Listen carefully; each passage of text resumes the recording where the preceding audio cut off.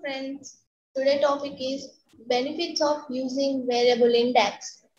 So by using variables in your DAX formulas, it helps you to write a complex and efficient calculations. You can have many variables as needed in a single expression. You can use the variables which is replaced by the computed value. Variables of DAX. It can improve performance and it can improve readability. It will simplify debugging. It has a reduced complexity.